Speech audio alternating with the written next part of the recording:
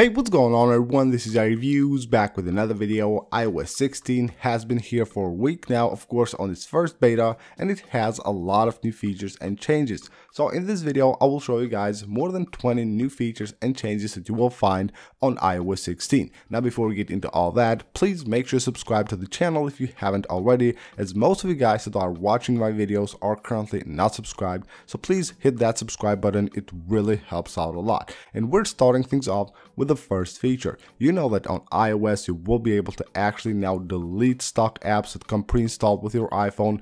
Well now you can delete more of those. With iOS 16 you will have the ability to delete the health app, the clock app, and the Find My app. So if you have an alternative for those or you just don't use them, you want to remove them from your device, now you will have the ability to do that so you can just not just remove them from the home screen but completely delete them from your device.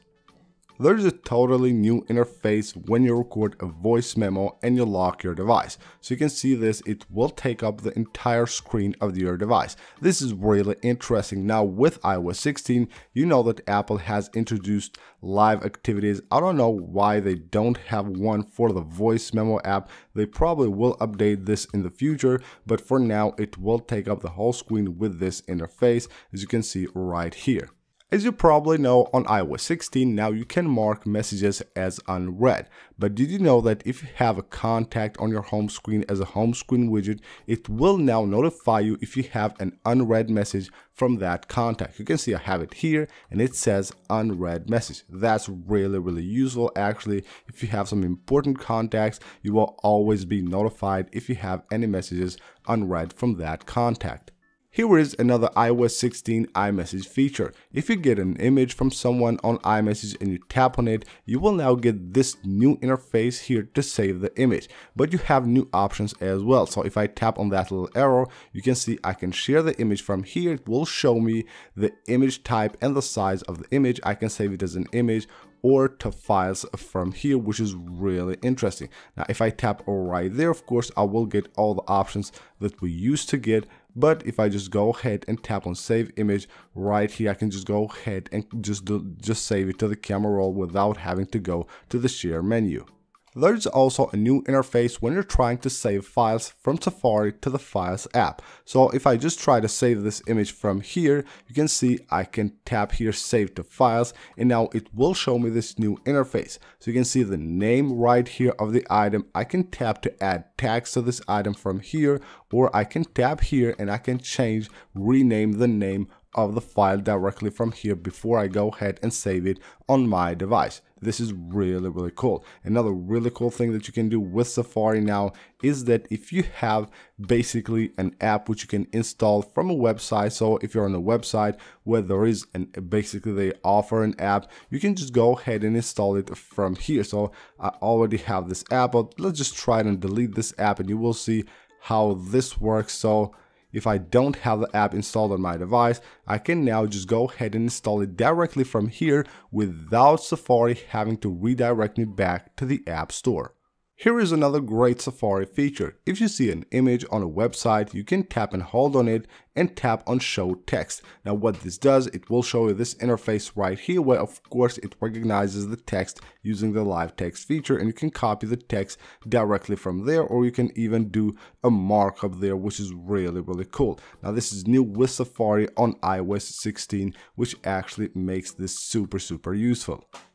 On iOS 16, on the Photos app, if you select a bunch of photos like this and you want to do an action on them, maybe like hide them or something like that, you don't have to reach for the share button. All you have to do is just sweetly touch on them just like that and you can see how it gathers those photos together. And I can go ahead and maybe copy them or hide them or add them to an album directly from here or which is another new feature adjust the time and date and adjust the location for this group of photos. So you don't have to do that individually. You can do this for all these photos together.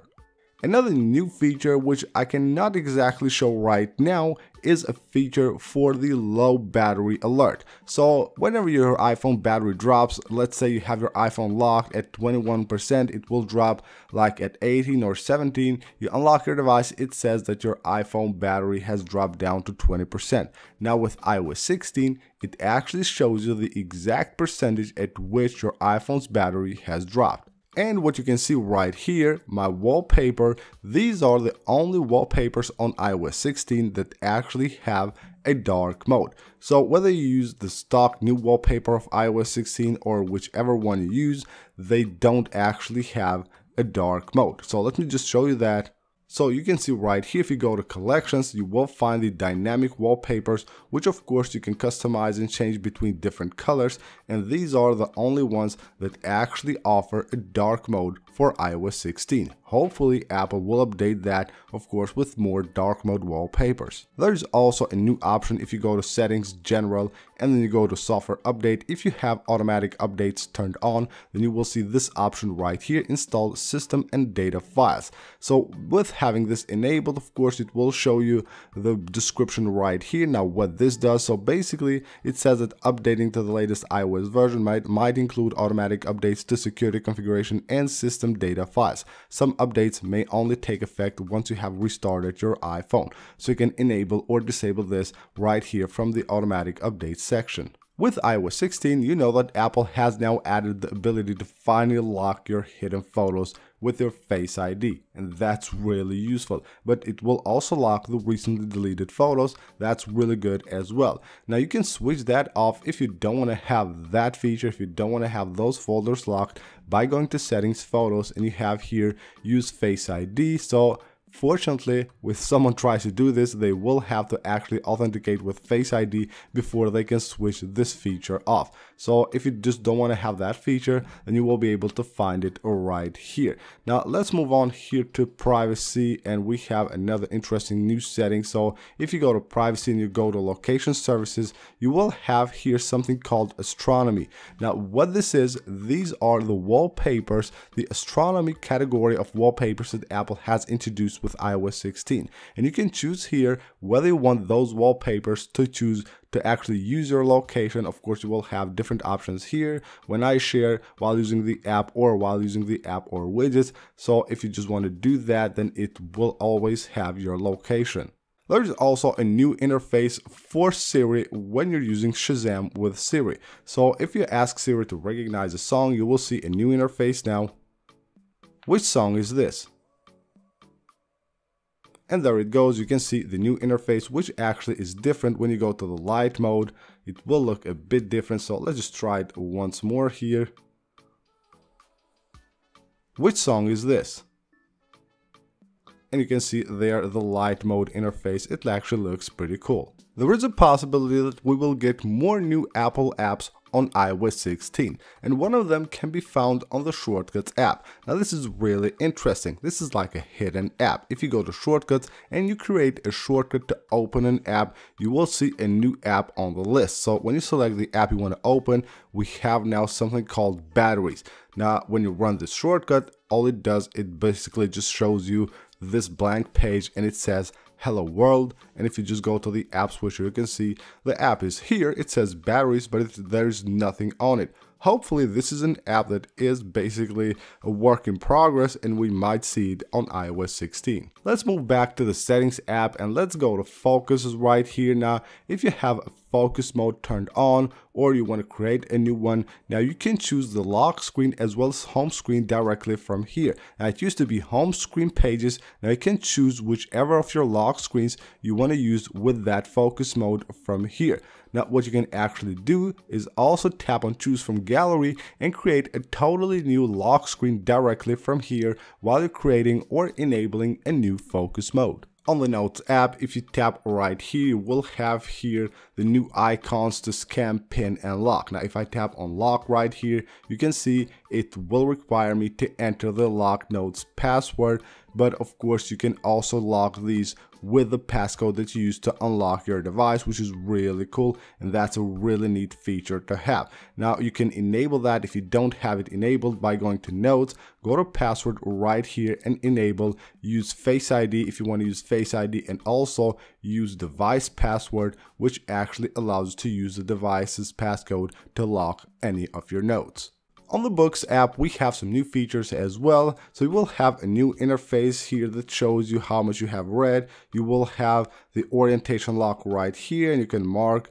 up a uh, actually a book right here and you will have the share button as well. So you will have other app options down here. There's also a widget for the books app. Even though it doesn't work that good it takes quite a long here to actually update but you have now a books widget which actually you can have in three sizes the medium the small and the bigger one. New on the weather app as well, the ability to add up to 50 different cities on the list. I don't know why someone would need that, but it was 20, now the limit is 50 different cities. And last but not least, head on to your settings, general, go to about and when you tap on the iOS version, you will now see this new interface right here that shows about this update and of course it gives you more details regarding the update that you have currently installed on your iPhone. So that is it for this video guys, thank you for watching, don't forget to subscribe for more videos and leave a like in this one if you enjoyed it, I'll see you guys on the next one.